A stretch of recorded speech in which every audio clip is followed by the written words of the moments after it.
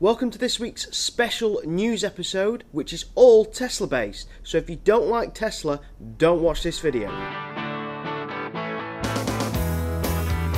This week, Tesla announced their financials for the stock market and also Tesla investors. This had quite a lot of interesting news in it. First of all, Tesla are now producing 7,000 cars a week. That is, for Tesla, a huge number. Compared to other manufacturers, it's not that big, but for Tesla, a very new car company, 7,000 is a huge number. That currently consists of 5,000 Model 3s and obviously a mix of 2,000 Model S's and X's which 7,000 numbers according to Tesla is the profit point. If they can continue making 7,000 a week, that means that Tesla will make a profit. But, and it's a but, to achieve this, they've had the largest losses Tesla have ever seen. Now, this doesn't concern me. It obviously shows that the money that they've received from sales and revenue has been reinvested into the company to bring up that production limit. Now, if you're reinvesting pretty much all that money to get the production limit up and you're producing more and more cars, your revenue will increase. And as soon as you stop shoving that money back into the company to increase its uh, obviously its production limit, all that money's revenue. So Tesla, yes, have made a massive loss, but bringing those production numbers up, and they plan to by the end of August to hit 6,000 Model 3s a week which means it will take the plant to uh, uh, seven, eight, eight thousand cars a week. That's huge. Now, when they start hitting that, then the money they've invested to bring these production lines up will kind of seem irrelevant because the revenue will start really sort of forcing into it. Now, they have seen a massive rise in revenue, a 43% rise in Tesla's revenue due to the extra money they pumped into the production to rise this up.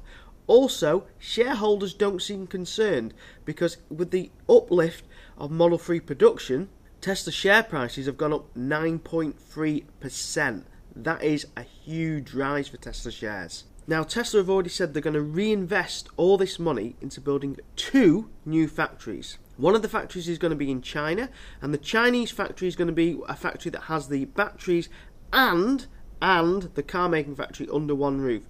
So it's going to be one factory that does the batteries and the making of the cars.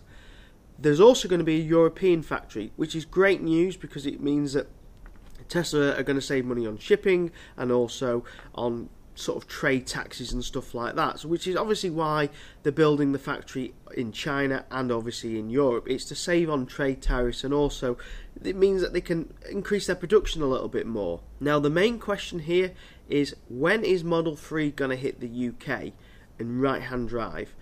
Tesla have said mid next year. Mid next year means probably June or July. However, I don't see it happening then. I actually think it's going to be November, December next year. I don't see them hitting that target.